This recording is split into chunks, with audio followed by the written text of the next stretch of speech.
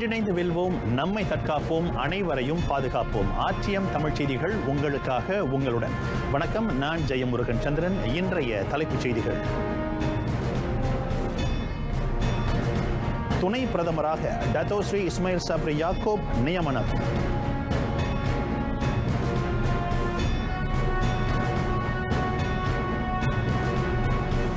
FELDA நிலக்குடியேற்றக்காரர்களின் கடனில் ஒரு பகுதியை தள்ளுபடி செய்ய அரசு ஒப்புதல்.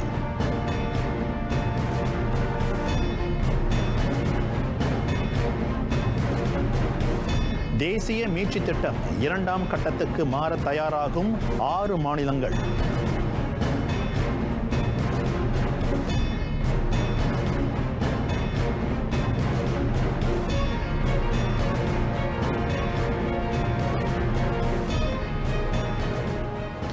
நாட்டின் துணை பிரதமராக டத்தோஸ்ரீ இஸ்மாயில் சப்ரி யாக்கோப் நியமிக்கப்பட்டுள்ளார். டத்தோஸ்ரீ இஸ்மாயிலை அப்பொறுப்புக்கு பிரதமர் தான் ஸ்ரீ மொய்தீன் யாசின் நியமித்ததாக பிரதமர் அலுவலகம் அறிக்கையில் குறிப்பிடப்பட்டுள்ளது.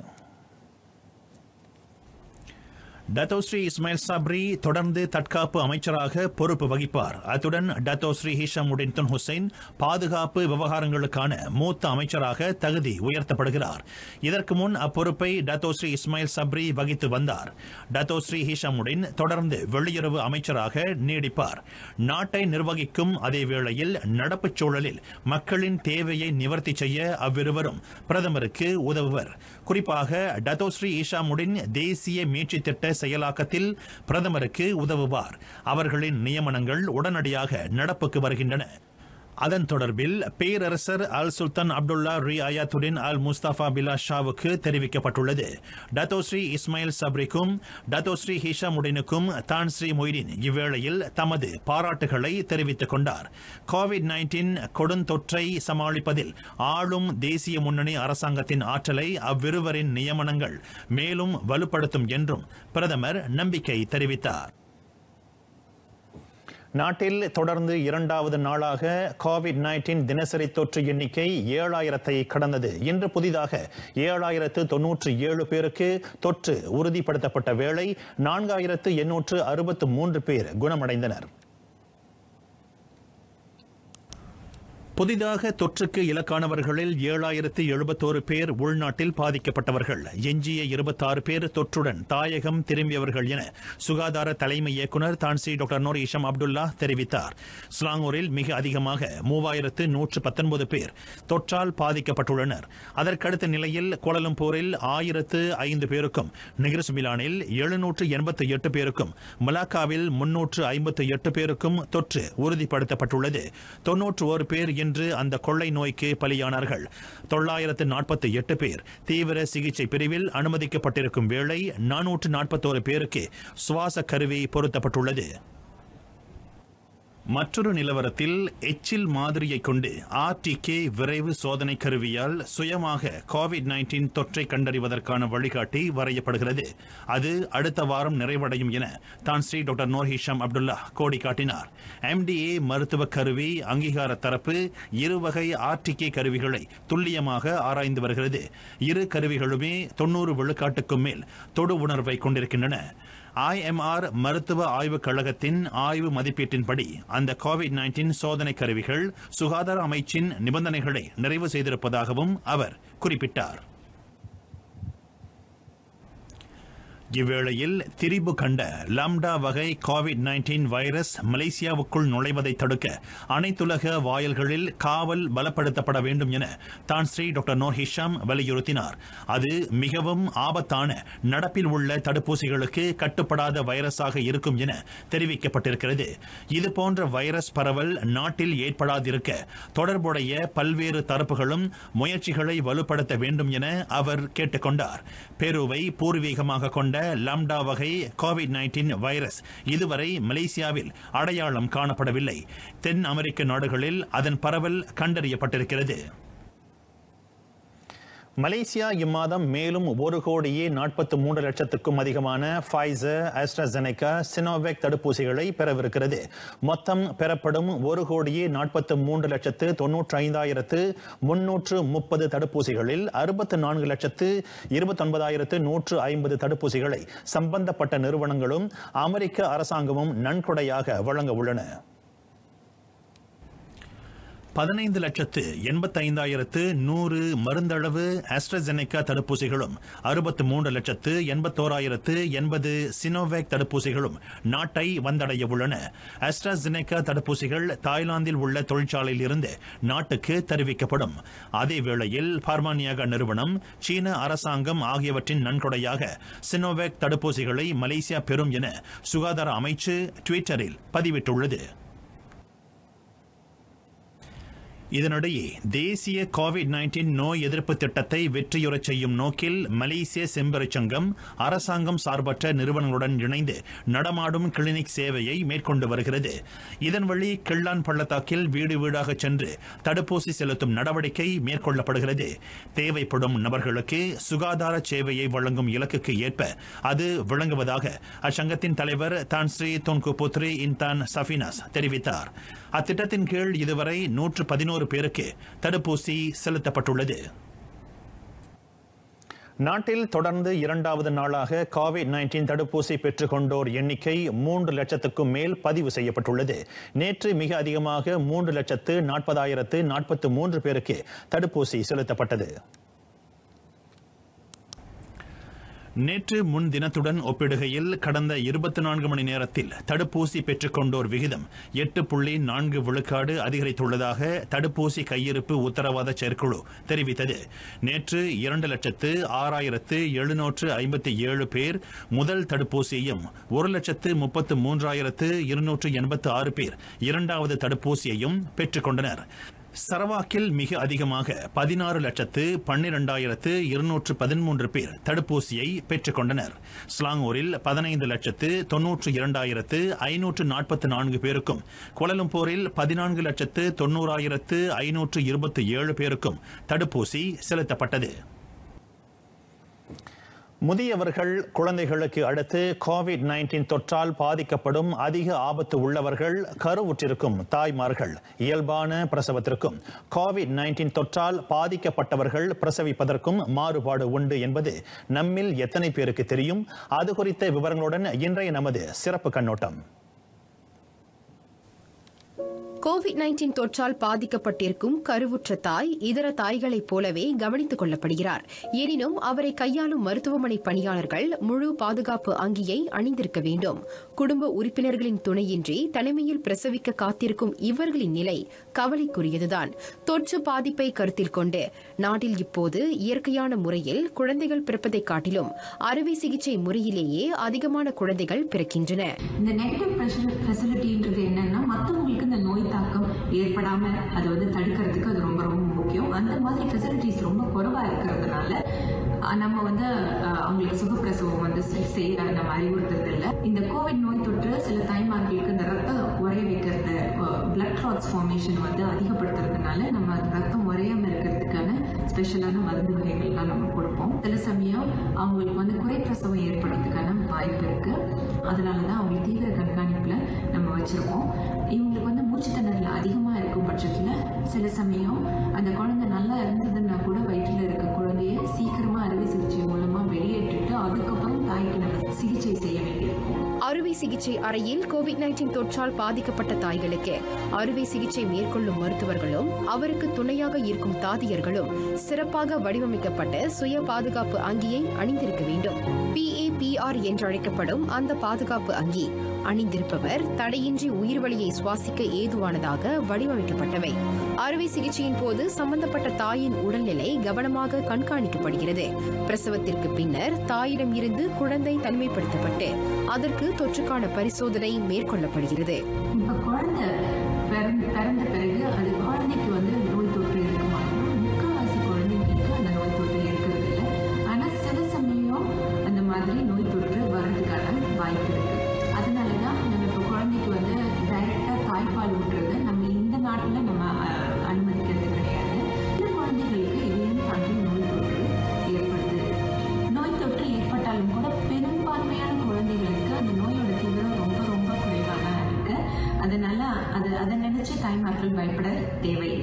நாட்டில் தற்சமயம் கருவுற்றிருக்கும் தாய்கள் கோவிட் நைன்டீன் தொற்றால் அதிகளவில் பாதிக்கப்படுகின்றனர். இந்நிலையை தவிர்க்க மக்கள் எஸ்ஓபி நெறிகளை கடைபிடிப்பது அவசியம்.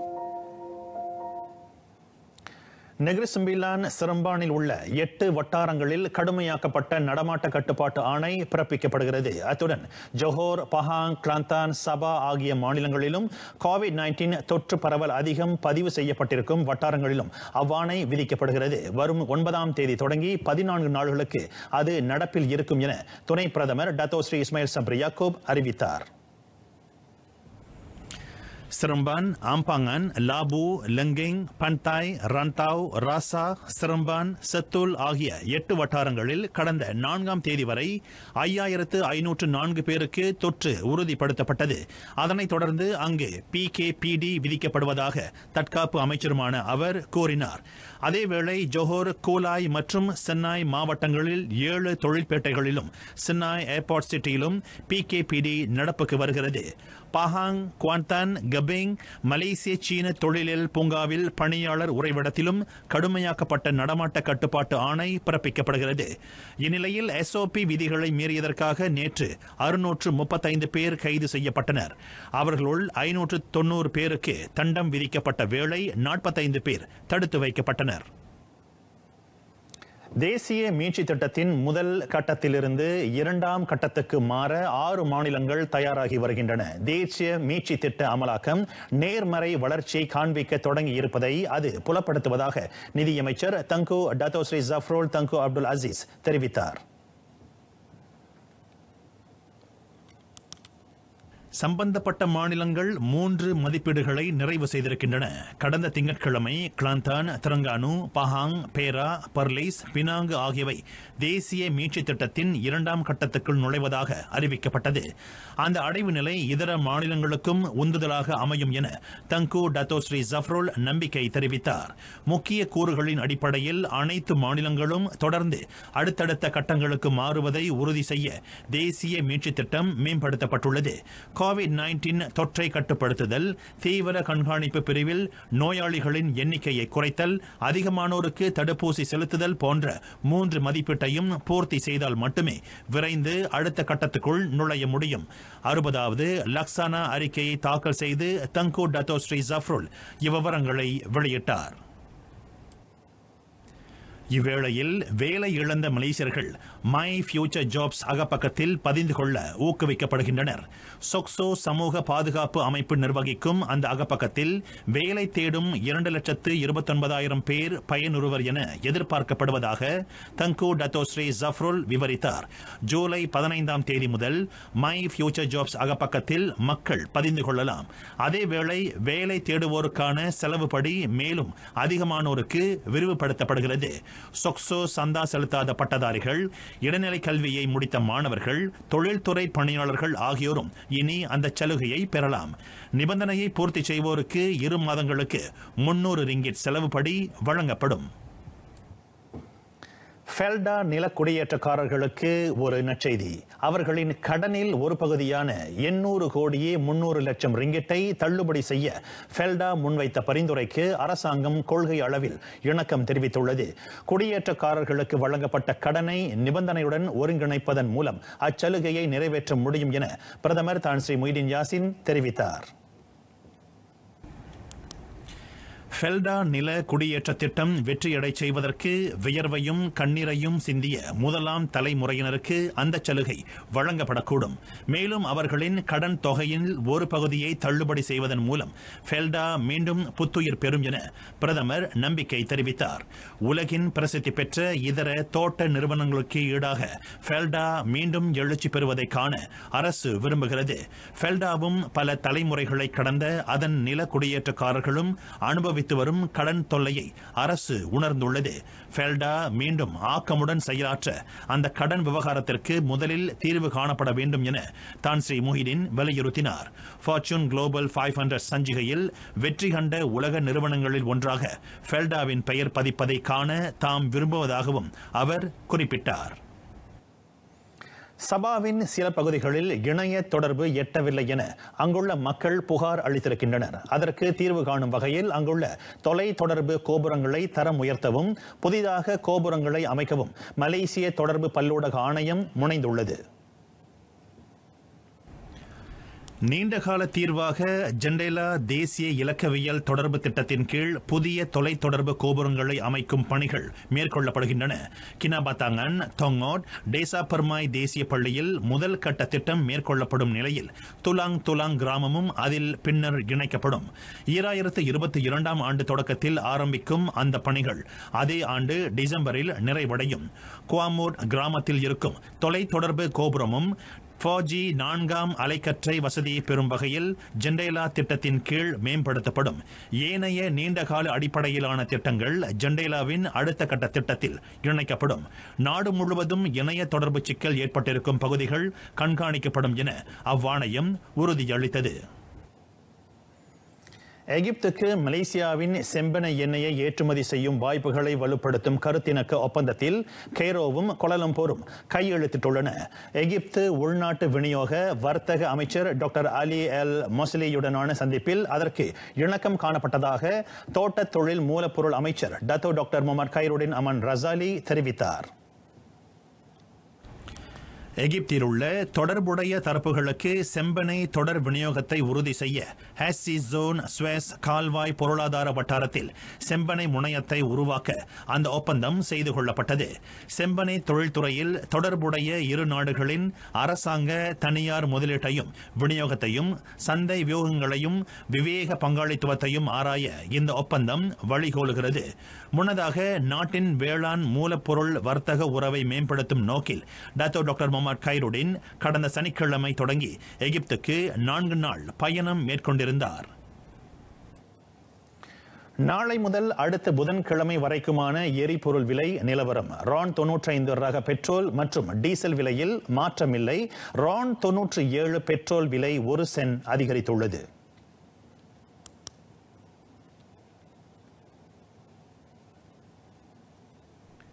ரான் தொன்னூற்றி ஐந்து ரக பெட்ரோல் தொடர்ந்து இரண்டு ரிங்கீட் ஐந்து சென்னுக்கு விற்கப்படும். அதேவேளை ரான் தொன்னூற்றி ஏழு ரக பெட்ரோல் விலை இரண்டு ரிங்கீட் எழுபது சென்னுக்கு விற்கப்படும். டீசல் விலை லிட்டருக்கு இரண்டு ரிங்கீட் பதினைந்து சென் என நிலைநிறுத்தப்படுகிறது. இன்று நள்ளிரவு பன்னிரண்டு மணி தொடங்கி அடுத்த வாரம் பதினான்காம் தேதி வரை அந்த விலை நடப்பில் இருக்கும் என நிதியமைச்சு தெரிவித்தது. மலேசியாவில் தமிழ் கல்வி தொடங்கப்பட்டு இவ்வாண்டுடன் இருநூற்று ஐந்து ஆண்டுகள் நிறைவடைகின்றன. அதனையொட்டி இம்மாதம் இருபத்தோராம் தேதி தொடங்கி அக்டோபர் முப்பத்தோராம் தேதி வரை மூன்று மாதங்களுக்கு மலேசியாவில் தமிழ் கல்வி இருநூற்று ஐந்தாம் ஆண்டு விழா நடைபெறுகிறது.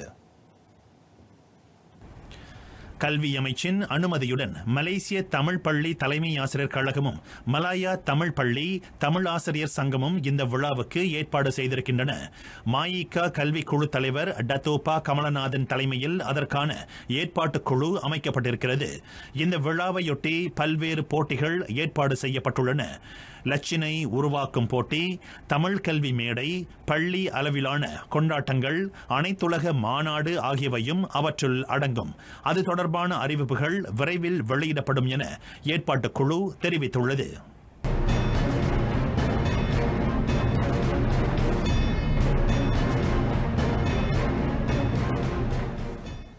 டோக்கியோ ஈராயிரத்தி இருபது ஒலிம்பிக்கில் களம் காண முழு தயார் நிலையில் உள்ள தேசிய பூப்பந்து வீரர் லீ ஜிஜியா. குறிப்பாக பரம வைரியான சீனாவின் சென் லாங்கையும் ஷி யூக்கியையும் சமாளிக்க போதிய மனத்திடத்தை கொண்டிருப்பதாக நடப்பு அகில இங்கிலாந்து வெற்றியாளருமான ஜிஜியா தெரிவித்தார். ஒலிம்பிக் பூப்பந்து பிரிவுக்கான குலுக்கல் முறை நாளை நடைபெறுகிறது. அதில் தம்மை எதிர்த்து களமிறங்கவிருக்கும் போட்டியாளர் எவராக இருப்பினும் அவரை சந்திக்க தயாராக உள்ளார். ஜிஜியா குறிப்பாக சீன வீரர்களை சமாளிப்பதற்கான நுணுக்கங்களை சக ஆட்டக்காரர் லியோ டேரன் கற்றுத்தருவதாக அவர் குறிப்பிட்டார். தமது திறமையை மேம்படுத்துவதற்கு பேருதவியாக இருக்கும் லியோ டேரனுக்கும் அவர் இவ்வேளையில் நன்றி தெரிவித்துக் கொண்டார்.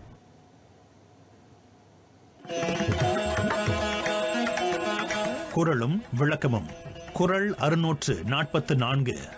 திறனறிந்து சொல்லுக சொல்லை அரணும் பொருளும் அதனை நோங்குகில். எவரிடம் பேசுகிறோமோ அவர் பின்னணியை ஆராய்ந்து பேச வேண்டும். அப்படி பேசுவதை விட உயர்ந்த அறமும் பொருளும் வேறு இல்லை என்கிறார் திருவள்ளுவர். நிறைவடைகின்றன. ஆர்டிஎம் தமிழ் செய்திகள் எங்களோடு இணைந்ததற்கு நன்றி. கோவிட் நைன்டீன் கொள்ளை நோயை ஒன்றிணைந்து வெல்வோம். நம்மை தற்காப்போம். அனைவரையும் பாதுகாப்போம்.